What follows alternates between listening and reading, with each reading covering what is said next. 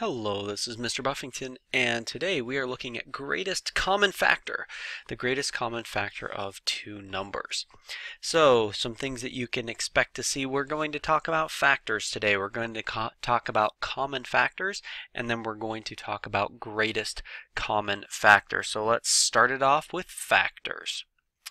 A factor, these are numbers that you multiply together to give you the original number. Now that kind of sounds vague, so let me show you an example. 2 times 5 is 10.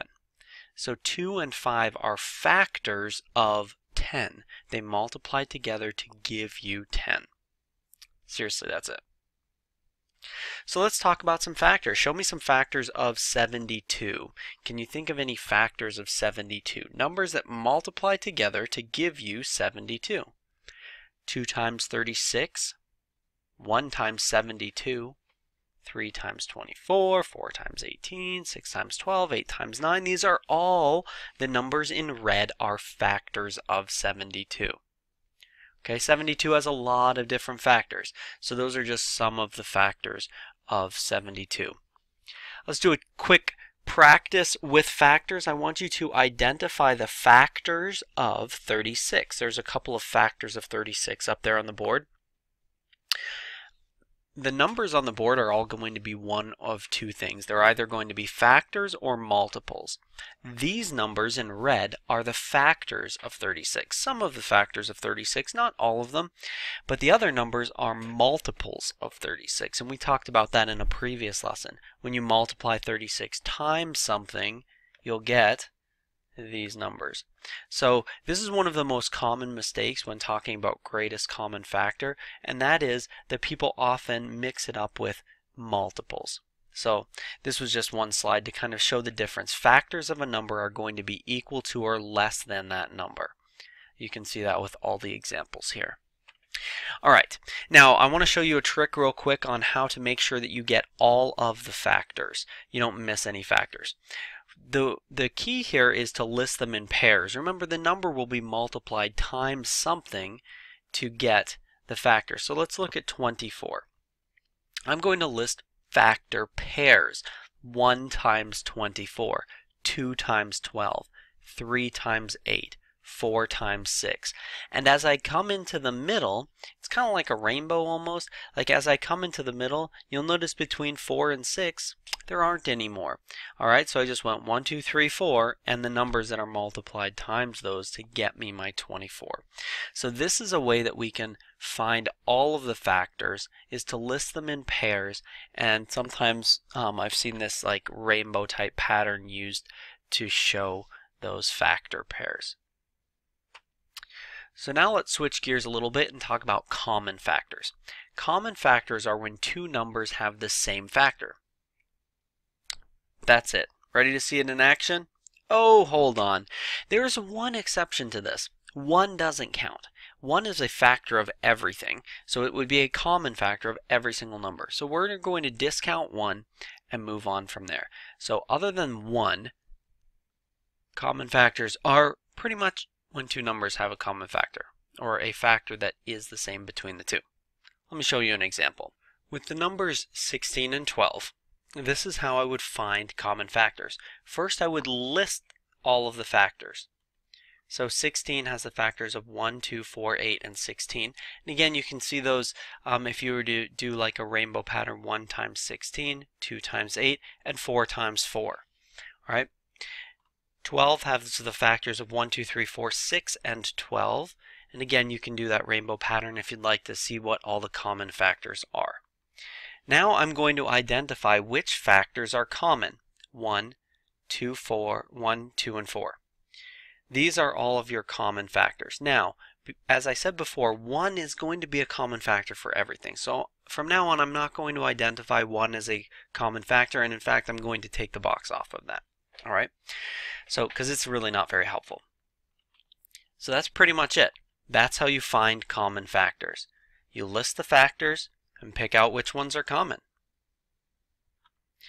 Now let's talk about the most helpful common factor. That's what we call the greatest common factor.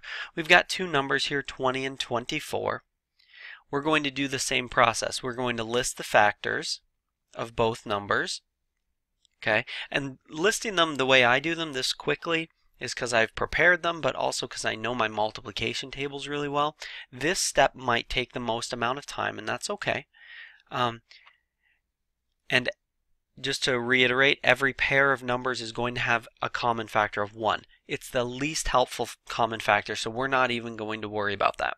We're just going to identify the greatest common factor in this case.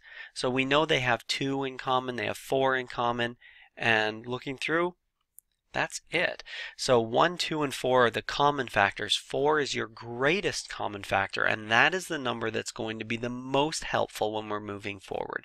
So when you're identifying greatest common factor, we don't have to look at everyone from now on. We can just look at the one that's the greatest. All right?